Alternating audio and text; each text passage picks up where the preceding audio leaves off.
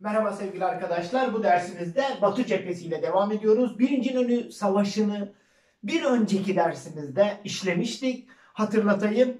Birinci İnönü zaferinden sonra önemli sonuçlar vardı. Onları tek tek işledik. Kesinlikle unutmuyorsunuz. Ancak orada hemen bir hatırlatma yapayım arkadaşlar.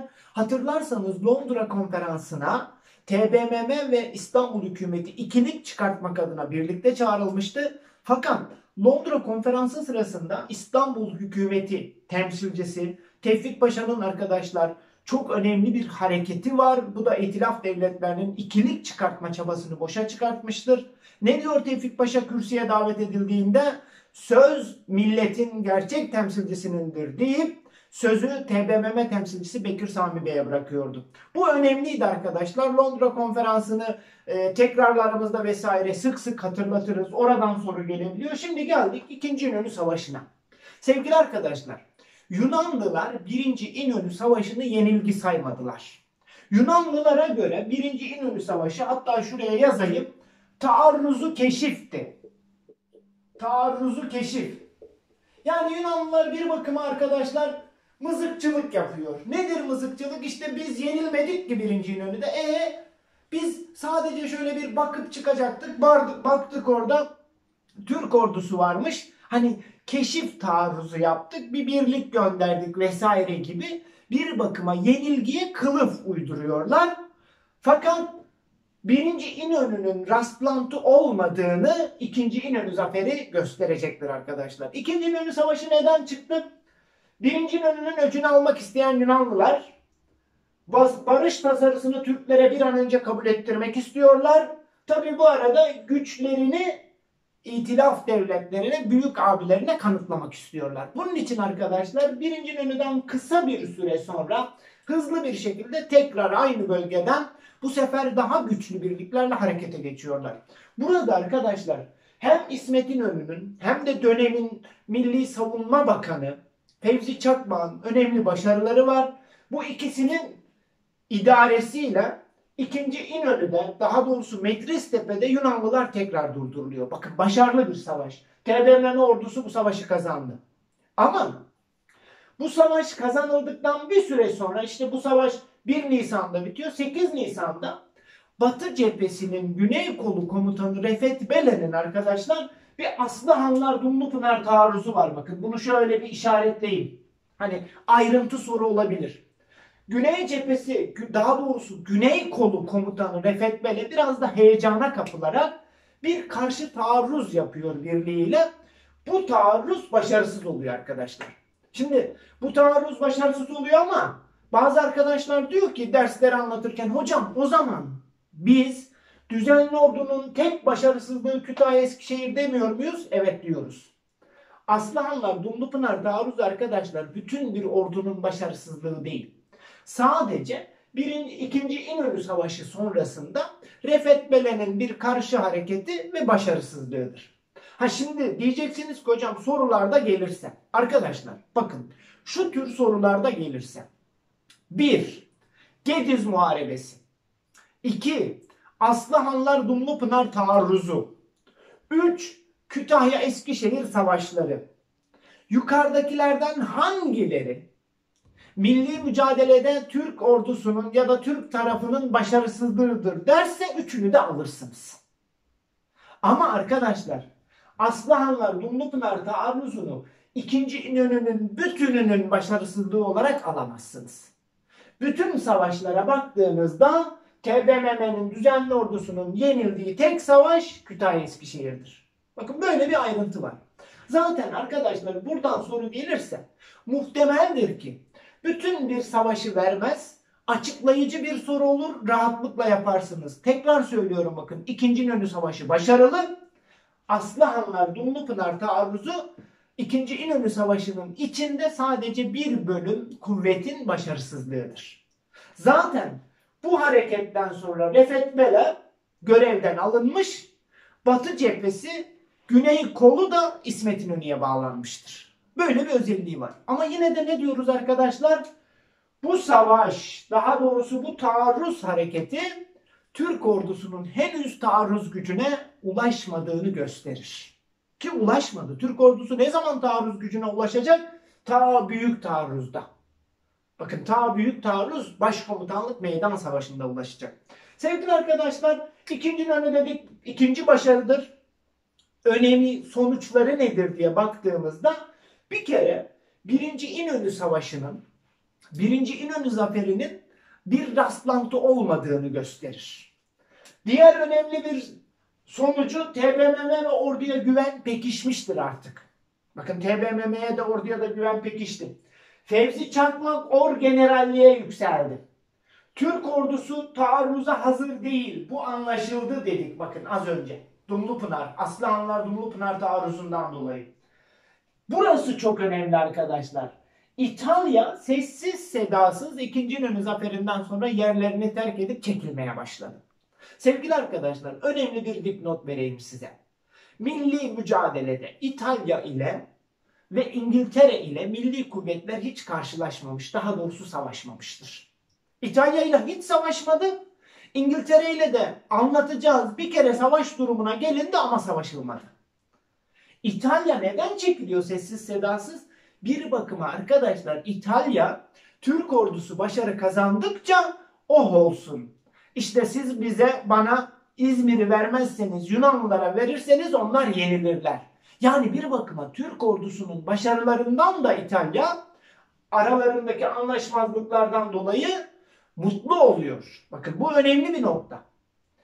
Fransa'da bu süreçte arkadaşlar barış görüşmeleri için Ankara'ya bir heyet gönderecek ve iyi niyetini göstermek adına bir bakıma ben size iyi niyet gösteriyorum artık barış yapalım bu işi bir an önce çözelim demek adına Zonguldak'ı da boşaltmıştır. Zonguldak'taki askerlerini geri çekmiştir. Şimdi burada ne gördük? Dış politikada İtalya çekilmeye başlıyor, Fransa görüşmelere başlıyor. Bakın ikinci İnönü zaferinin uluslararası dış politikadaki sonuçları. Hatta İngiltere'de arkadaşlar Yunanistan'a güvenini biraz daha kaybediyor. Aslında İngilizler öyle çok da anlaşmak falan istemiyor. Hatta milli mücadelecileri TBMM'yi tanımak bile istemiyor İngiltere. Ama yine de işte ben biraz iyi niyet göstereyim de e şu sevri biraz hafifleteyim. Şu sevri bir an önce kabul ettireyim. Bu iş bitsin demek için Malta'daki 40 Türk esiri serbest bırakıyor. TBMM'ye iyi niyet gösterecek. TBMM'de de on, TBMM de onun anlaşma şartlarını tanıyacak. Arkadaşlar bunlar önemli dedik. Dış politikada gitgide TBMM'nin eli güçleniyor. Bu arada arkadaşlar Mustafa Kemal bu zaferden sonra İsmet İnönü'ye bir telgraf çekiyor ve o telgrafta aynen şöyle diyor. Siz orada yalnız düşmanı değil milletin makus. Makus ne demek? Kötü demek arkadaşlar. Milletin kötü talihini de yendiniz diyor İsmet Paşa'ya. Bu kadar önemli. Ama arkadaşlar Yunanlılar daha da hırslandı. Hani yenilen pehlivan güreşe doymaz misali.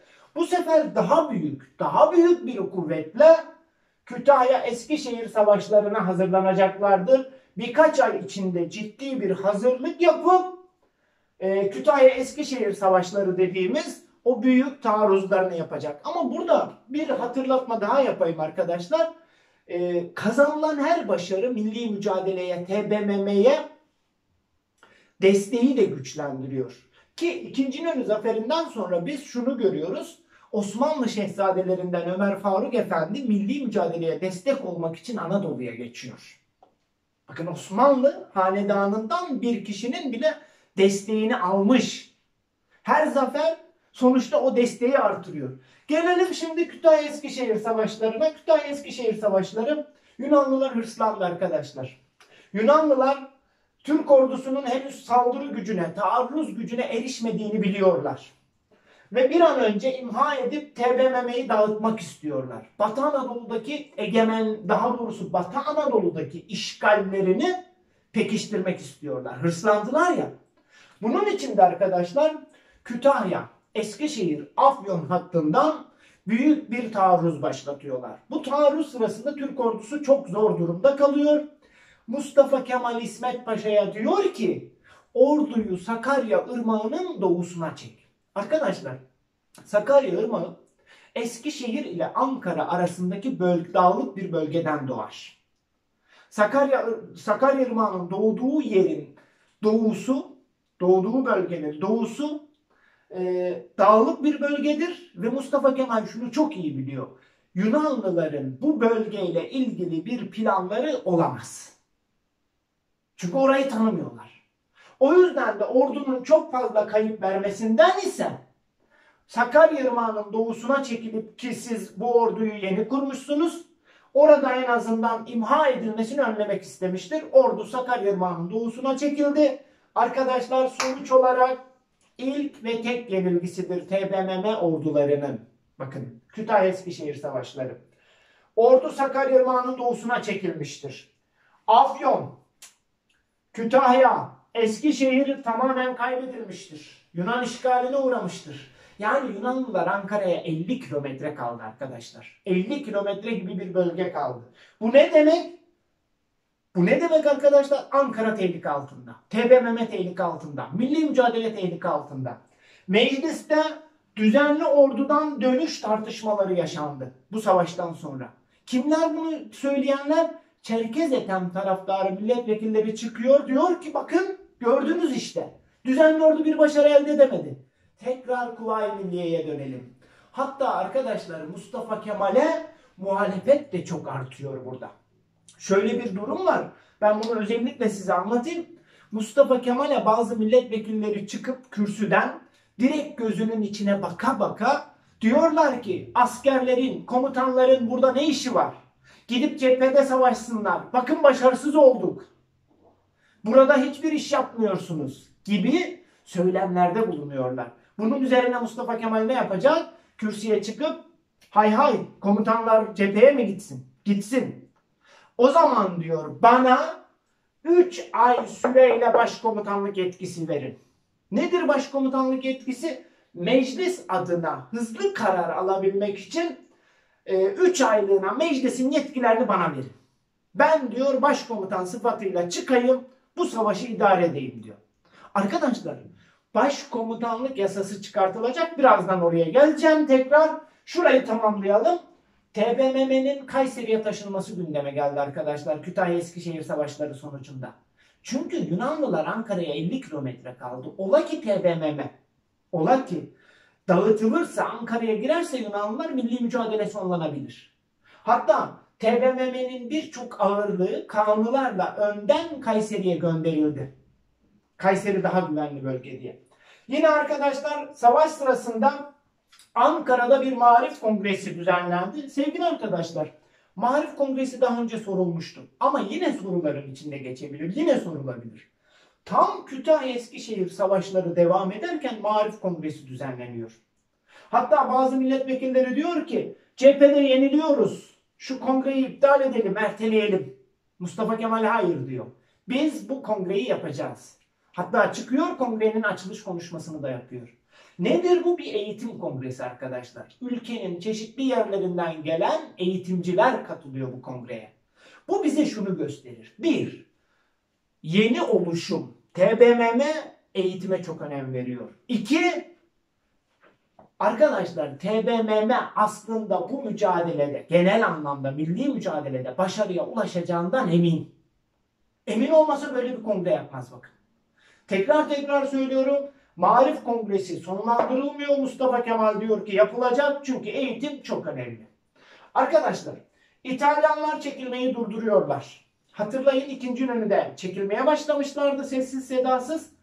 Kütahya Eskişehir'de bir bakıyorlar TBMM orduları başarısız duruyorlar. Niye? Çok da meydanı Yunanlılara bırakmak istemiyorlar. Fransızlar görüşmeleri kesiyorlar. Barış görüşmelerini. Neden? yenik bir oluşumla, yenik bir devlet oluşumuyla henüz tam devlet demiyoruz. Adı konmadı çünkü. Anlaşma imzalanmaz. Biraz da umutlanıyorlar hatta.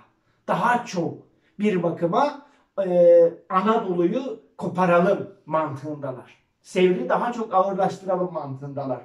Bunlar önemli sonuçlar ama arkadaşlar. Kütahya Eskişehir savaşlarında en çok sorunun geldiği geçmişte ve yine gelebileceği yerler başkomutanlık yasası ile tekalifi milli emirleridir. Az önce size bir bölümünü anlattım bakın. Mustafa Kemal'in gözünün içine baka baka milletvekillerinin Mustafa Kemal'i eleştirdiğini, komutanları eleştirdiğini, Mustafa Kemal'in de onların karşısında çıkıp tamam hay hay ben cepheye gideyim, bana 3 aylığına bu yetkiyi verin dediğini anlattık. Arkadaşlar başkomutanlık yasası Mustafa Kemal'e 3 aylığına yet, meclisin tüm yetkilerini vermektir. Bakın tüm yetkilerini. Meclis adına meclismiş gibi kanun yapacak, e, yasa yapacak, emir verecek. Peki Mustafa Kemal böyle bir yetkiyi niye istiyor? Olağanüstü dönemdesiniz kararları hızlı almak için. Ve biz burada şunu görüyoruz. Meclis ilk kez yetkilerini bir kişiye devretti. Bakın ilk kez yetkilerini bir kişiye devretti. Ve Mustafa Kemal'e başkomutanlık yetkisi arkadaşlar oy birliğiyle veriliyor. Bakın oy birliğiyle. Diyeceksiniz kocam hem eleştiriyorlar. Niye oy birliğiyle meclis başkomutanlık yetkisini versin ki? Arkadaşlar Mustafa Kemal'i sevenler, ona güvenenler zaten bu yetkiyi ona veriyor, güveniyorlar. Ama diğerleri eleştirenler ise şundan dolayı veriyorlar. Gitsin nasıl olsa başarısız olur onu bir bakıma e, yani onun artık meclisle bağını keseriz. Onu ortadan kaldırırız. Çeker gider. Bir daha dönüp meclis başkanı falan olamaz düşüncesiyle veriyorlar bakın. Sevgili arkadaşlar, başkomutanlık yasasında ne var? Bu yasa ile Başkomutan Mustafa Kemal meclis yetkilerini 3 ay kullanacak. Genelkurmay Başkanlığı'na Fevzi Çakmak geliyor. Batı Cephesi Komutanı İsmet İnönü oluyor. Şimdi burada neye dikkat ediyorduk? Kütahya Eskişehir savaşlarının sonuna kadar İsmet İnönü Genelkurmay Başkanıydı. Şimdi yeni dönemde Genelkurmay Başkanı kim? Fevzi Çakmak arkadaşlar. Fevzi Çakmak ismini hiç unutmayın sevgili arkadaşlar. Fevzi Çakmak Türkiye tarihinde en uzun süreli Genelkurmay Başkanlığı yapan kişidir. 1944-45 yıllarına kadar Genelkurmay Başkanı olmuştur. Bakın dikkat. Böyle bir isimden bahsediyoruz. Sevgili arkadaşlar, peki başkomutanlık yasasının önemi ne? Arkadaşlar birkaç ders öncesine bir gidelim. Mustafa Kemal askerlik görevinden ne zaman ayrılmıştı? Hatırlayın şöyle. Mustafa Kemal daha önce Osmanlı'nın askeriydi. 9. Ordu müfettişiydi son görevi. Ve hatırlarsanız Amasya Genelgesi'nden sonra İstanbul onu görevden almış. O da tüm askerlik rütbelerinden istifa etmişti. Yani Amasya Genelgesi'nden Erzurum'a giderken artık sivildi.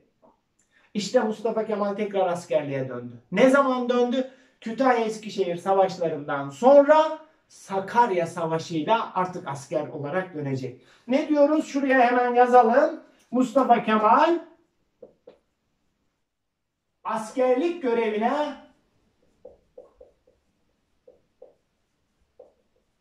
döndü. Yeniden. Mustafa Kemal'in asker başkomutan olarak ilk yaptığı savaşta Sakarya Meydan Muharebesi olacak sevgili arkadaşlar. Sevgili arkadaşlar, başkomutanlık yasasını dikkat edin bakın TBMM çıkarttı. Bu yetkiyi TBMM verdi. Ama arkadaşlar tekalifi milliye emirleri hemen bu yasadan iki gün sonra tekalifi milliye emirleri adıyla milli yükümlülükler, milli emirler yayınlandı. Bunu TBMM değil bakın. Başkomutan sıfatıyla Mustafa Kemal yayınladı.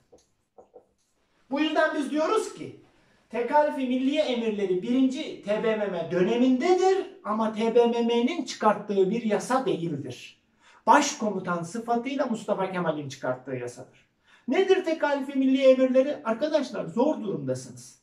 Ordunun birçok ihtiyacı var. Orduyu yeni kurmuşsunuz ve Kütahya Eskişehir savaşlarında ordu çok zor durumda kalmış. Taarruz gücü yok, ihtiyaçları karşılanmamış. Ordunun ihtiyaçlarını karşılamak için çıkartılan bir bakıma seferberlik ilanıdır. Bir bakıma milli emirlerdir arkadaşlar. Neler var? Başkomutan yetkisiyle Mustafa Kemal yayınladı. Her ilçede bir komisyon kurulacak. Tekalifi Milliye Komisyonu. Bu komisyon arkadaşlar her aileden bir takım çamaşır, çorap, çarık alacak. Arkadaşlar insanlar bir bakıma her şeylerini orduyla paylaşacaklar. Her türlü giyim ve besin maddelerinin hem tüccarın hem halkın elinde bulunan giyim ve besin maddelerinin yüzde kırkına el konulacak. Tabi burada şöyle bir madde de var. Bedeli sonradan verilmek kaydıyla. Bunlar listelenecek. Yine hayvan yiyecekleri ordunun atları var arkadaşlar. Bunlara ot bile lazım ki bu dönemde basında vesaire çıkıyor. Tokat'tan veya başka yerlerden köylüler sırf ordu için ot biçmeye gidecekler. Hayvan yiyeceklerinin de yüzde kırkına bedeli sonradan ödenmek kaydıyla el konulacak. Taşıtı olanlar aylık en az 100 kilometre ordu için taşımacılık yapacak. Zaten o dönemde arkadaşlar 1920'li yıllardan bahsediyoruz. Hani toplasanız belki koca Anadolu'da 10 100 tane kamyon ya vardır ya yoktur. Bakın 100 tane araç ya vardır ya yoktur o bölgelerde. Sahipsiz mallara gerekirse el konulacak. Silah ve cephane, elinde silah ve cephane olanlar 3 gün içinde koşulsuz şartsız teslim edecek. Akaryakıt lastiklerin %40'ına el konacak. Akaryakıt lastik bulmak çok zor arkadaşlar o dönemde. %40'ına el konulacak. Silah yapan ustaların listesi çıkartılacak. Bunlar ilçe komisyonları tarafından hemen il komisyonlarına, il komisyonları bunları anında orduya ulaştıracak. Taşıt binek hayvanlarının %20'sine el konulacak. İl komisyonları bütün bu toplananları hiç zaman kaybetmeden en yakın ordu birliklerine teslim edecek. Nedir bu? TBMM ordularının, düzenli ordunun ihtiyaçlarını karşılamak için yayınlanmış emirler. Tekrar tekrar söylüyorum bakın arkadaşlar. Başkomutanlık yasasını TBMM ama tekalifi milli emirlerini başkomutan sıfatıyla Mustafa Kemal yayınlamıştır. Bakın şu çok ayırt edici bir sorudur. Her zaman da e, ÖSYM tarafından seçeneklerde sizi yanıltmak için kullanılabilir. Meclis yapmadı bu yasayı. Başkomutan sıfatıyla meclis yetkisini kullanarak Mustafa Kemal yaptı. Şimdi arkadaşlar şu tahtanın şöyle güzel bir fotoğrafını çekin. Hemen Sakarya Meydan Savaşı'na geçelim. Evet arkadaşlar geldik Sakarya Meydan Savaşı'na.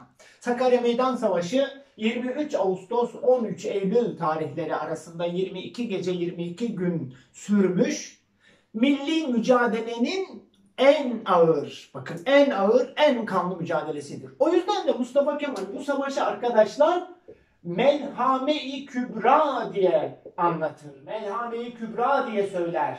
Nedir Melhame-i Kübra? Hatta Sakarya Melhame-i Kübrası. Büyük ve kanlı savaş arkadaşlar. Sakarya kan gölü şeklinde edebi eserlere yansımış bir savaştan bahsediyoruz. O kadar büyük bir savaş. Milli mücadelede en çok kayıp burada verilmiştir. En çok subay kaybı burada verilmiştir. O yüzden bu savaş aynı zamanda subaylar savaşı diye de bilinir. Sevgili arkadaşlar hem çok fazla subay kaybedilmiş hem de bu savaşta çok ciddi şekilde çok fazla subay görev almıştır. Bu yüzden subaylar savaşıdır arkadaşlar. Sevgili arkadaşlar hemen şu anekdotu anlatayım. Hani biz Çanakkale'de şunu biliriz bakın Çanakkale'de birçok çok küçük yaşta 15-16 yaşındaki gençler okullarını bırakarak gitmişler.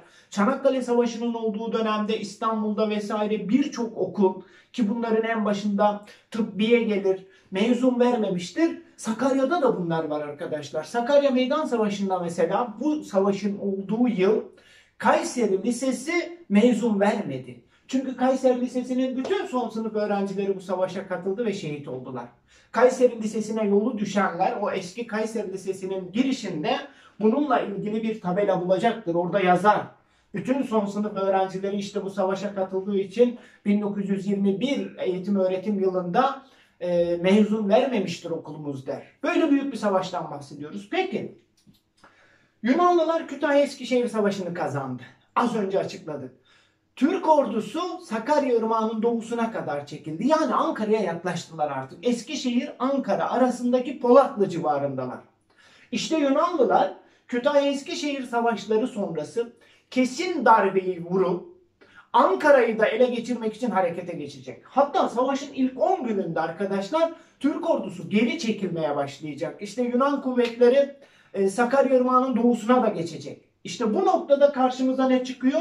Mustafa Kemal'in hattı müdafaa yoktur, sattı müdafaa vardır sözü çıkıyor. Hat nedir arkadaşlar? Hat bir çizgi. Satı ise alan, yüzey. Ve Mustafa Kemal diyor ki meclisteki tartışmalardan sonra kesinlikle diyor geri çekilip yeni bir hat kurmayacağız. Yeni bir savunma hattı kurmayacağız. Çünkü biraz daha geri çekilseler artık Ankara düşecek. Dolayısıyla her birlik diyor bulunduğu noktayı, bulunduğu alanı, bulunduğu yeri koruyacak diyor. Hiçbir birlik yanındaki birlik çekiliyor diye çekilmeyecek diyor. İşte arkadaşlar bu dünya savaş tarihinde de eşine rastlanmayan bir yüzey savunma stratejisi uygulanan savaştır. Yaklaşık 100 kilometrelik alanda cereyan etmiştir bu savaş ve ilk 10 gün sonunda Türk ordusu Yunanlıları Yunanlılara karşı üstünlük kurmuş ve Yunanlıları Sakarya Irmağı'nın batısına atmaya mecbur bırakmıştır. Arkadaşlar bu savaşta kesinlikle unutmamamız gereken bir tepe var. Dua Tepe. Savaşın en kanlı bölümü burada geçmiştir. Dua Tepe'nin çevresinde geçmiştir. Dua Tepe'nin korunmasında geçmiştir. Zaten arkadaşlar milli mücadelede belli başlı tepeler var bakın. Tepeleri unutmayın. İnönü savaşlarının tepesi Medris Tepe'dir. Dikkat. Sakarya Savaşı'nın o meşhur tepesi Dua Tepe'dir. Büyük taarruzun tepesi Koca Tepe'dir. Bakın üç tane tepe. Büyük taarruzun yönetildiği tepedir Koca Tepe. Bu üç tepeyi kesinlikle unutmayın. Bunlar soru olabilir. Sevgili arkadaşlar sonuçta TBMM orduları başardı. Yunanlılar Eskişehir, Afyon, Kütahya hattında geri çekildiler. Ölüm kalım savaşı başarılı oldu. Bakın bu bir ölüm kalım savaşıdır. Topyekün bir savaştır. Hani büyük savaş diyoruz ya topyekün bir savaş. Peki sonuçları? Türklerin savunma dönemi bitti. Arkadaşlar Türklerin savunma dönemini şöyle biraz gerilere gidin. Osmanlı dönemine gidin. 1683'e gidin.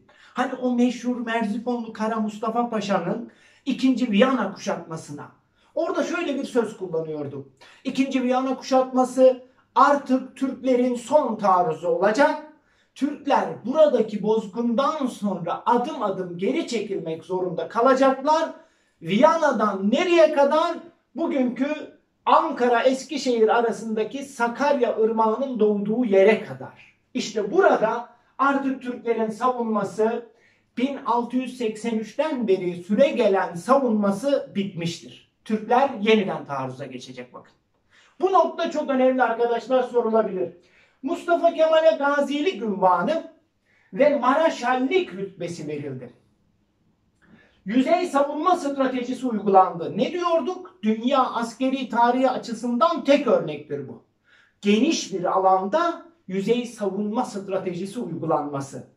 Hattı müdafaa yoktur, sattı müdafaa vardır. O satıh da bütün vatandır sözünü Mustafa Kemal bu savaşta söylemiştir. Arkadaşlar savaş kazanıldı bakın. Ne diyorduk milli mücadele süreci için? Her kazanılan askeri başarı arkasından siyasi başarı getiriyor. Mutlaka. Bakın uluslararası alanda başarı getiriyor. Bu savaş sonucunda dışarıdaki gelişmeler bakın uluslararası alandaki gelişmeler. İtilaf bloğu dağıldı.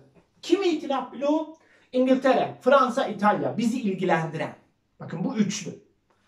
Bu savaştan sonra İtalya Anadolu'yu tamamen terk edecek. Fransa da Ankara Antlaşması'nı imzalayarak Güney cephesinde savaşı bitirecektir. Ne oldu? İngiltere yalnız kaldı. Dikkat edin İngiltere yalnız kaldı. Önemli bu nokta. Arkadaşlar hemen şunları bir hatırla, hatırlayalım. Bakın biraz önce anlattıklarımızdan. İtalya 2. İnönü Savaşı'ndan sonra çekilmeye başlamış. Kütahya Eskişehir savaşlarında durmuş. Sakarya Meydan Savaşı sonucunda tamamen çekilmiştir. Bakın bu çizgileri gerekirse bir yere not edin arkadaşlar. Yazın bir yere. Hani İtalya ilk nerede çekilmeye başladı? Nerede durdu? Nerede tamamen çekildi? Bunları iyi bilmek gerekiyor. Fransa'da 2. İnönü Savaşı'ndan sonra barış görüşmelerine başladı. Dikkat! Hatta 2. İnönü Savaşı'ndan sonra Zonguldak'ı iyi niyet gösterisi olarak boşalttı, askerlerini çekti. Fakat Kütahya Eskişehir savaşlarında Fransa'da durdu arkadaşlar. Ancak ne diyoruz? Sakarya Meydan Savaşı'ndan sonra tamam dedi Fransa'da artık bu Türk ordusu başarılı olacak. Bizim buralarda daha fazla durmamıza gerek yok. Ankara Antlaşması'nı imzalayarak Anadolu'dan çekildi. Güney cephesi de kapandı. Sevgili arkadaşlar bakın. İtilaf bloğu dağıldı dedik. İtalya Anadolu'yu terk etti. Kars Antlaşması imzalandı. Kiminle? Azerbaycan, Gürcistan, Ermenistan. Yani Kafkas Cumhuriyetleriyle. Sovyet Rusya'ya bağlı Kafkas Cumhuriyetleriyle. Ankara Antlaşması imzalandı Fransa ile. Ayrıntılarına geleceğiz. Paris Mukarreratı. Nedir Paris Mukarreratı arkadaşlar? Ateşkes önerisi. Aslında bu Paris Mukarreratı İngiltere'nin özellikle özellikle bakın Yunanlılara zaman kazandırmak için ortaya attıkları bir ateşkes önerisidir. Bu arada Türk tarafı da barış yanlısı değiller tezini yıkmak için e, Avrupa'ya çeşitli temsilciler yollayıp görüşmeler yapıyor. Hani ateşkes önerilerini kestirip atmıyor. Evet biz barış yanlısıyız. Ama nasıl diyor? Anadolu'yu Yunanlılar tamamen boşaltacak. Bu şartla diyor ateşkes yaparız. Arkadaşlar bu ateşkes önerisinde şöyle maddeler var. Bu ateşkes önerisini İngiltere, Fransa ve İtalya yapıyor. Diyorlar ki ateşkes önerisinde iki taraf da savaşı durduracak 3 ay süreyle. İki taraf da ordusunu artırmayacak. Belli bir çizgide bekleyecek. İtilaf devletleri iki tarafında ordusunu denetleyecek. Eğer bu arada barış görüşmeleri yapılacak. Barış görüşmeleri olumlu olmazsa barışa gitmezse bir taraf tekrar savaşı sürdürmek isterse 15 gün önce haber verecek falan falan. Bakın. Türk tarafına göre baktığınızda bu ateşkes önerisi kesinlikle bağımsızlığa aykırı bir kere. Ve Türk tarafı teoride bunu kabul etmemesine rağmen fiiliyatta daha doğrusu görünürde arkadaşlar e, diplomatik çabalarını sürdürerek ateşkes önerisini dinliyor. Hatta Avrupa'ya temsilciler yolluyor. Yani sırf evet biz barış yanlısıyız demek için. Yoksa Türk tarafının tek bir şartı var. Diyor ki biz ateşkes yaparız masaya da otururuz. Ama şartımız şu Yunanlılar koşulsuz şartsız önce bir Anadolu'yu boşaltsın. Ondan sonra masaya bir oturalım. Ama tabii İngilizler vesaire bunu kabul etmeyecek. İşte siz diyor belli bir çizgide bekleyin. Arkadaşlar Paris Mukarreratı 22 Mart 1900 22'de önerildi. Hemen 4 gün sonra da bu sefer itilaf devletleri bir barış önerisi getirdiler. Bakın barış antlaşmasının içeriğinde şöyle maddeler var. Bunları ezberlemeyin ama ben size şunları söyleyeyim. Bir işte İstanbul'u tamam teslim edeceğiz ama Boğazlar ve çevresi tarafsız olacak.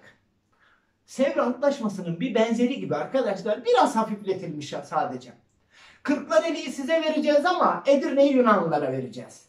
Doğuda bir Ermeni devleti kuracağız. E kapitülasyonları kaldıracağız ama mali haklarımızı korumak için tekrar yeni bir şeyler görüşeceğiz. Bakın bunların hepsi bağımsızlığa aykırı. Sevrin birazcık hafifletilmiş hali. Türk tarafı arkadaşlar her şeye rağmen diplomatik çabalarını sürdürmüş, ateşkes görüşmelerine katılmış. Hatta Yusuf Kemal Tengirşeh dönemin Dışişleri Bakanı Paris'e gitmiş, Avrupa'da diğer devlet temsilcileriyle hep görüşmeler yapmış. Böyle bir teklif, öneri var ama Türk tarafı bunları kabul etmeyecektir. Önemlidir bunlar. Başka ne oldu? Ukrayna ile dostluk anlaşması. Bu da siyasi bir başarıdır.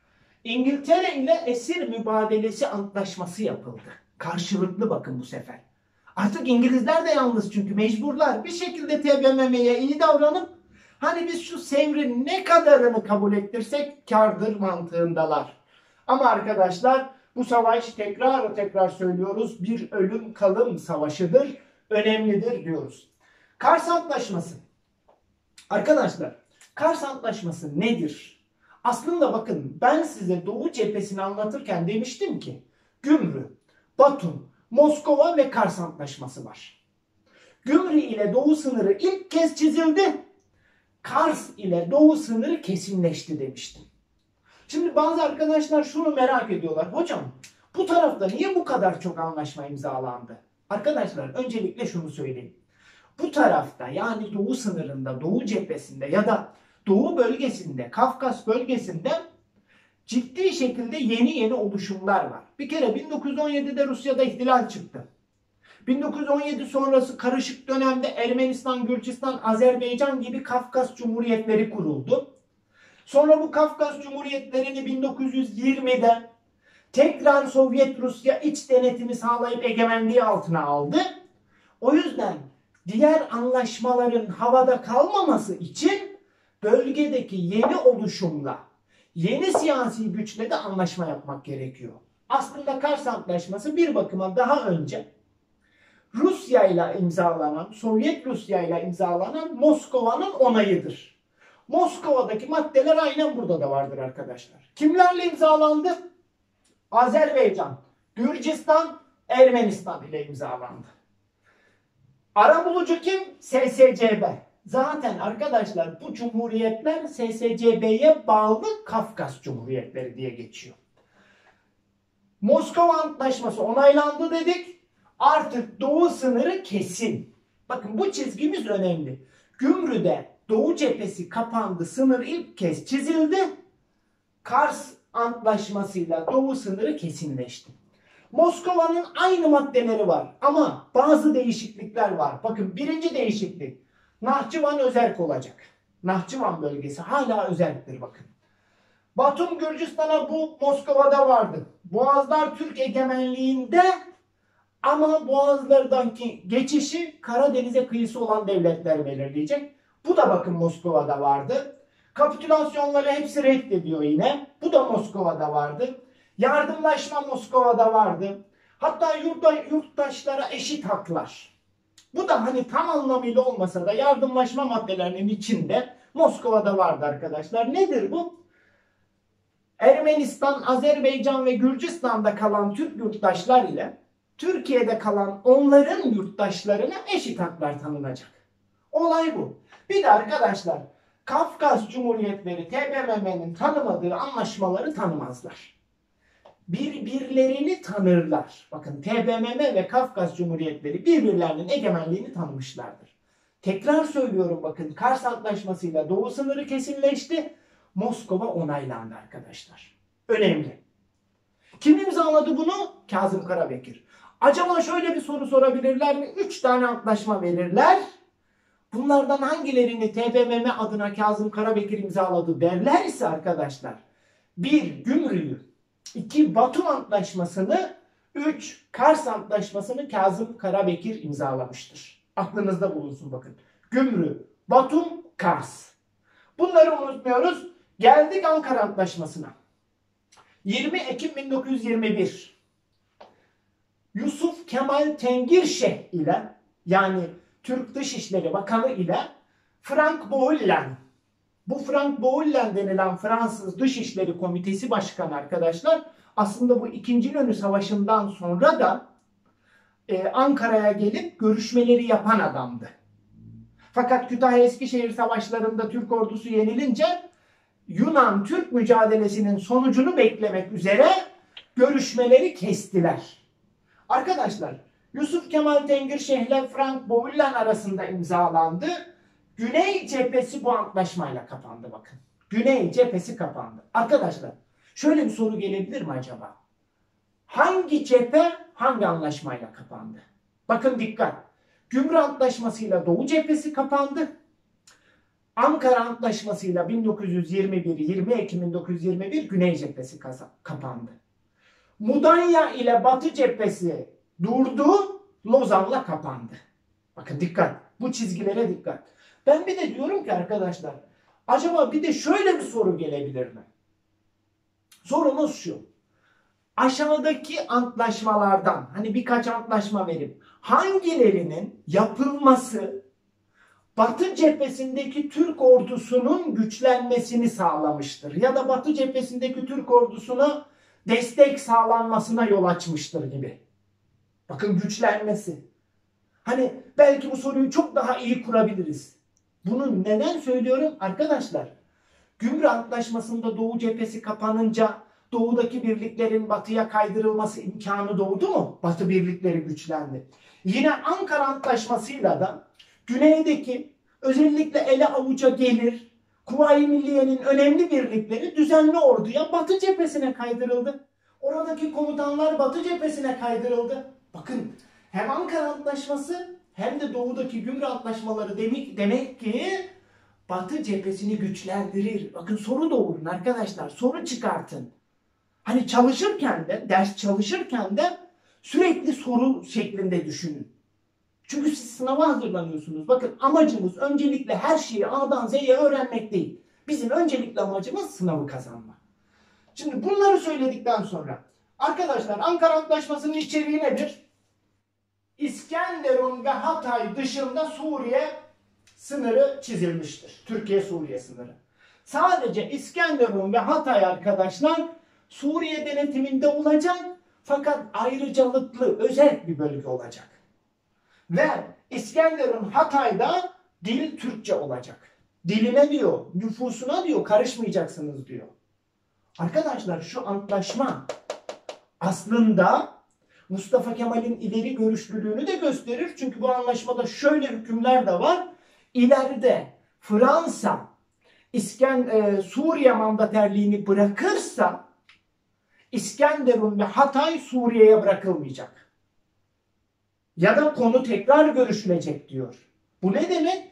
Mustafa Kemal ileride bir gün Fransa'nın Suriye'den çekileceğini zaten biliyor. Ve İskenderun ve Hatay'ı tamamen kaybetmemek için orada hem dili Türkçe hem işte nüfusa karışmayacaksınız, nüfusla oynamayacaksınız. Hem de burası özel bölge olacak diye hükümler koydurtturuyor bakın. Önemlidir bunlar. Fransa Antep Adana'yı boşaltacak. Unutmayın arkadaşlar. Maraş ve Urfa Kuvayi Milliye Birlikleriyle mücadeleyle kurtuldu. Antep ve Adana Ankara Antlaşması'yla kurtuldu. Bakın bunları gerekirse not alın sevgili arkadaşlar. Madde madde. Caber Kalesi, Suriye'deki Caber Kalesi, Süleyman Şah'ın mezarı arkadaşlar. Türk toprağı sayılacak, esirler karşılıklı serbest bırakılacak. Şimdi gelelim bu anlaşmanın önemine. İlk kez bir itilaf devleti anlaşma yaparak TBMM'yi tanıdı. Bakın ilk kez bir itilaf devleti diyoruz. Daha önce Rusya tanıdı ama o itilaf devleti değil. Ermenistan tanıdı, itilaf devleti değil. Önemli arkadaşlar. Bu yüzden de biz hemen şu çizgiyi tekrar hatırlatalım. TBMM'yi tanıyan ilk devlet Ermenistan. TBMM'yi tanıyan ilk İslam devleti Afganistan. TBMM'yi tanıyan ilk batılı büyük devlet Sovyet Rusya. TBMM'yi tanıyan ilk dev, itilaf devleti Fransa. Anlaşma yaparak o anlaşmaya imza koyarak hukuki, resmi bütün varlığını tanımış oluyor. Bunları kesinlikle unutmuyoruz arkadaşlar. İtilaf bile o çatladı. Şimdi Sakarya Meydan Savaşı'ndan sonra sevgili arkadaşlar ciddi şekilde diplomasi atakları var. İşte TBMM Avrupa'ya e, diplomatik çabalar adına Yusuf Kemal Tengirşeh'i gönderiyor. Hatta bir süre sonra Fethi Bey de gidecek İçişleri Bakanı. Çeşitli yerlere çeşitli diplomatlar gönderecek. Barış görüşmeleri yapılıyor. Bir yandan da kamuoyu oluşturuluyor arkadaşlar. Hani Türklerin tezi ortaya atılıyor. Bu görüşmelerde işte Paris Mukarreratı ortaya çıkıyor. Bakın Paris Mukarreratı. E, fakat Türklerin burada şöyle bir tavrı var. Bir yandan barış görüşmelerini yaparken bir yandan da taarruz hazırlıkları yapıyor. Aslında Yunan e, daha doğrusu İngilizler Paris Mukarreratı vesaire gibi ateşkes önerileriyle Yunanlılara zaman kazandırmaya çalışıyorlar. Çünkü Yunanlılar zor durumda kaldı. Dikkat edin Yunanlılar burada çok zor durumda kaldılar Sakarya Meydan Savaşı'nda. Bu noktada hemen bir soru daha yapalım arkadaşlar. Bakın dikkat. Yunanlılara zaman kazandırmaya yönelik milli mücadele sürecindeki gelişmeler. Bir, en baştan alın. Minna hattı Yunanlılara zaman kazandırır mıydı? Ta o Kuvayi Milliye döneminde. Yunanlılar İzmir'e ilk çıkınca, hiç ummadıkları bir direnişle karşılaşınca hemen İngiliz general eyvah dedi bu Yunanlılar zorlanacak bir Milne hattı çizeyim ben dedi. Bakın Milne hattı çizdi. Aman dedi Türkler bu hattın batısına geçmesin. O Yunanlara zaman kazandırır. İki, Birinci İnönü Savaşı'ndan sonra yapılan Londra Konferansı Yunanlılara zaman kazandırır mı? Bakın üç, Paris Mukarreratı da Yunanlılara zaman kazandırmayı amaçlar. Bunları sorabilirler arkadaşlar. Ama aynı zamanda bu barış görüşmeleri, ateşkes önerileri Türklere de zaman kazandırır. Çünkü arkadaşlar Sakarya Meydan Savaşı'ndan sonra Türk ordusu da daha henüz tam taarruz gücüne ulaşmadı.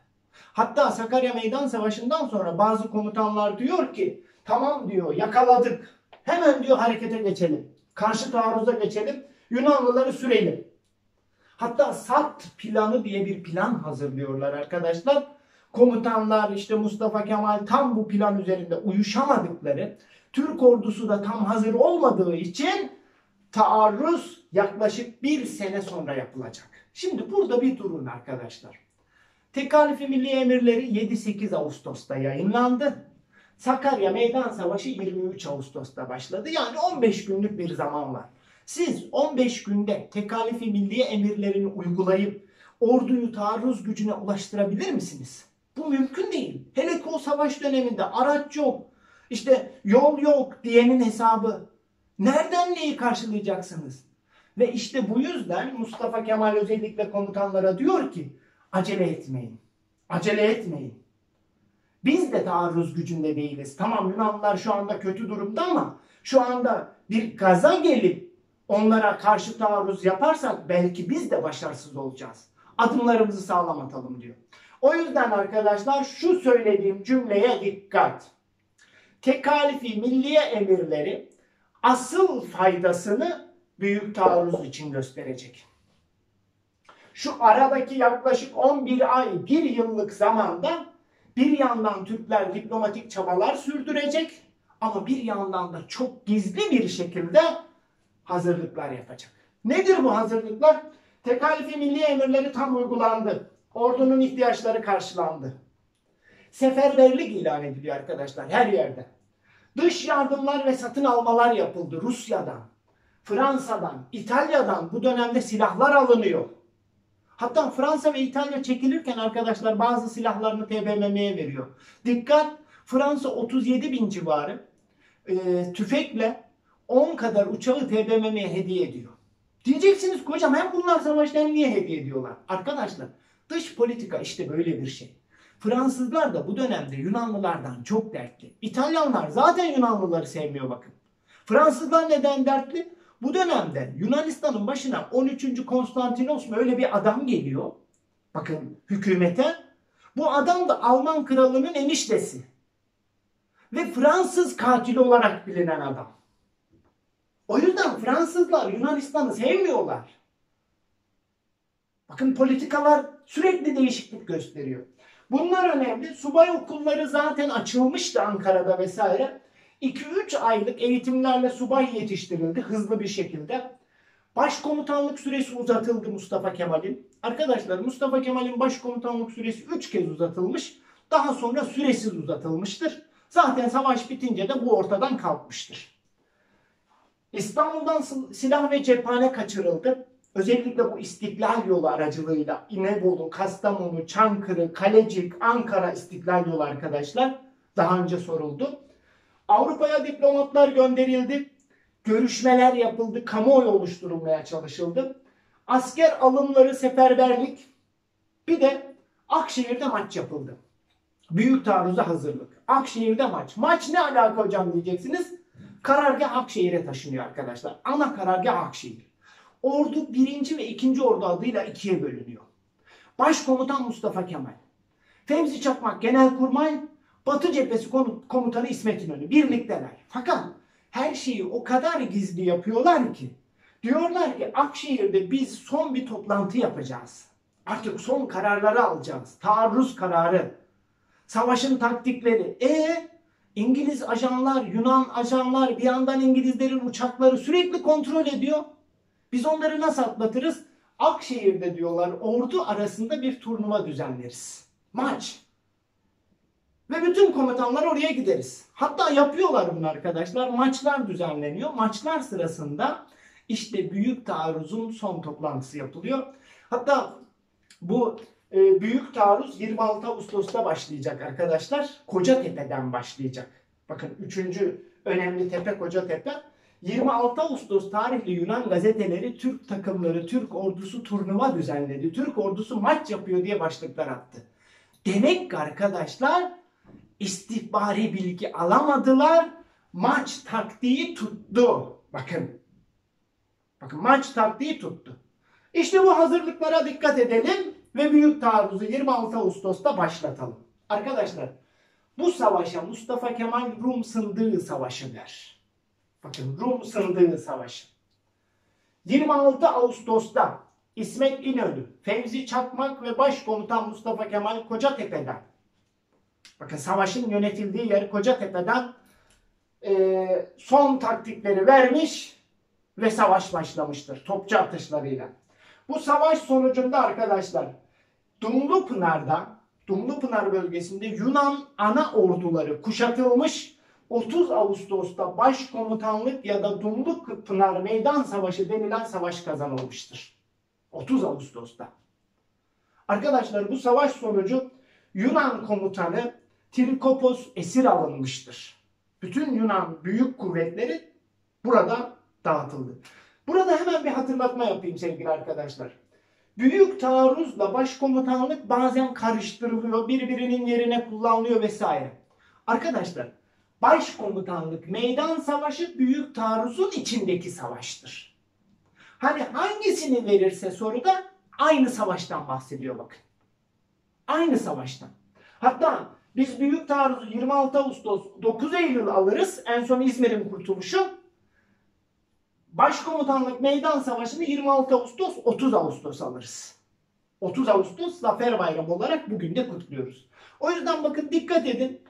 Hangi savaşı versen ikisi de aynı savaş. Sevgili arkadaşlar Kütahya, Uşak, Eskişehir, Manisa, İzmir, Bilecik, Balıkesir, Nazilli hatta kurtarıldı. 30 Ağustos'ta Kütahya'dan bir başladılar. 9 Eylül'de en son İzmir Yunanlılardan alındı. Bakın 9 Eylül'e kadar. Savaşın sonucu Yunanlılar Anadolu'dan atıldı. Türkler İngilizlerle karşı karşıya geldiler. Ha şimdi burada bir duralım. Yunanlılar Anadolu'dan atıldı.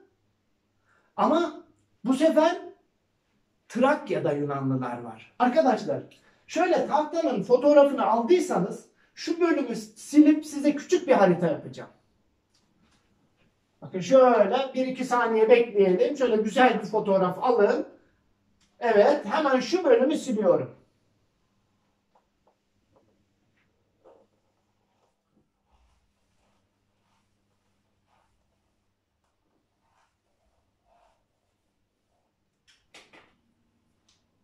Sevgili arkadaşlar bakın şöyle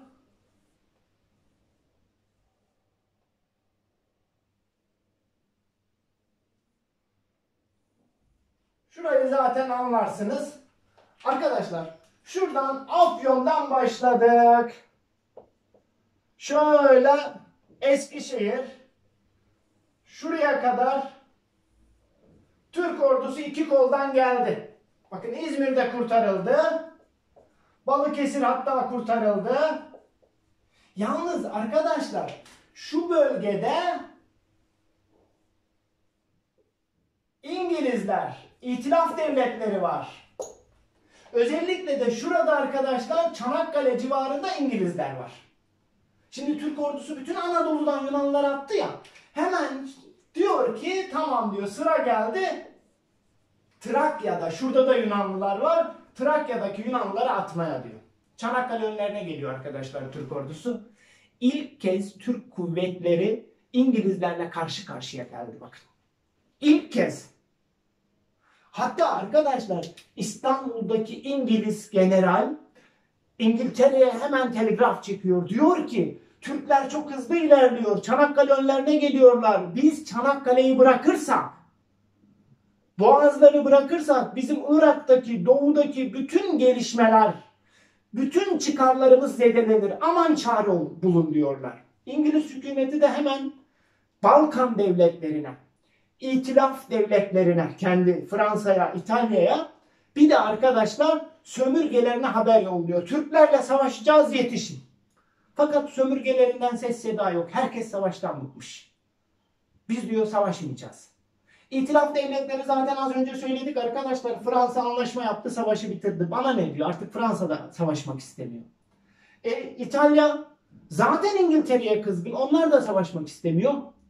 İngiltere'nin kendi kamuoyu bile, kendi halkı bile savaşmak istemiyor. İşte arkadaşlar tarihte İngilizler ile Türk ordusunun büyük taarruzdan sonra karşı karşıya geldiği olaya Çanakkale olayı denir. Ve işte bu son nokta oluyor. Türkler diyor ki evet ateşkes yapabiliriz. Ama diyor şartımız var. Nedir şartınız? Yunanlılar koşulsuz şartsız Trakya'yı boşaltacak. Ondan sonra ateşkes masasına oturacağız. Arkadaşlar İngiltere gerekli desteği, beklediği desteği bulamayınca Türklerin ateşkes teklifini, daha doğrusu e, Türklerin Yunanlıların Trakya'yı boşaltıp Meriç'e kadar boşaltıp ateşkes teklifini kabul ediyorlar. İşte bu süreç bizi Mudanya'ya götürecek. Arkadaşlar bu Çanakkale olayı sorulmadı bakın. Güzel soru olur. Türklerin İngilizlerle savaş durumuna geldiği fakat savaşmadığı olaya diyoruz. Başka ne bileceğiz? Fevzi Çakmak Maraşalık rütbesi aldı. Arkadaşlar iyi bilin bakın. Bilgileri bütünleyin. Bilgileri bütünlemek önemli. Milli mücadelede Maraşallık rütbesi alan iki kişi var. Sakarya'dan sonra Mustafa Kemal, Başkomutanlık Meydan Savaşı'ndan sonra da Fevzi Çakmak. Sorabilir, verir. Mustafa Kemal 1, Fevzi Çakmak 2, İsmet İnönü 3. Özellikle İsmet İnönü'yü koyar. Önemli başarıları var. Batı Cephesi Komutanı, Genelkurmay Başkanlığı yapmış. Der ki yukarıdaki komutanlardan hangileri milli mücadele döneminde TBMM tarafından Maraşallik rütbesiyle onurlandırılmıştır? İsmet İnönü'ye verilmedi arkadaşlar. İsmet İnönü dışında Fevzi Çakmak ve Atatürk Maraşallik rütbesi aldı. Başka ne bileceğiz? Yunan komutan emir dedik. Bir de arkadaşlar Mustafa Kemal o meşhur ordular ilk hedefiniz Akdeniz'dir emrini 1 Eylül'de verdi. Başkomutanlık meydan savaşı kazanılıp Yunan kuvvetleri imha edildikten sonra ordular ilk hedefiniz Akdeniz'dir ileri dedi İzmir'i gösterdi. Şimdi bazı arkadaşlar diyor ki hocam İzmir'i gösteriyor niye Akdeniz'dir diyor. Arkadaşlar Ege Denizi kavramını biz 1940'lı yıllardan beri kullanıyoruz. Eskiden Ege Denizi de Akdeniz'in bir parçası gibi düşünülürdü. Hani bunu açıklayayım en azından genel kültür bilgimiz olsun. İzmir'i gösteriyor evet. Çünkü Ege Denizi de Akdeniz'in bir parçası olarak varsayılıyor. Akdeniz kavramı kullanılıyor. İşte arkadaşlar artık savaş bölümü bitti. Şimdi nereye gideceğiz? Bir sonraki dersimizde Mudanya Ateşkes Antlaşması ve bu savaşla ilgili bilmemiz gerekenlere gideceğiz. Arkadaşlar önemlidir. Bakın bu savaşları işlerken hep bilgileri bütünleyerek gidin. Tepeler hemen bir yere not alın mesela. Hangi antlaşmalarla cephe, hangi cepheler kapandı hemen bir küçük çizelge yapın bir yere not alın. Çalışma taktiği bu şekilde olur tarihte. Hoş kalın, hoşça kalın, tarihle kalın.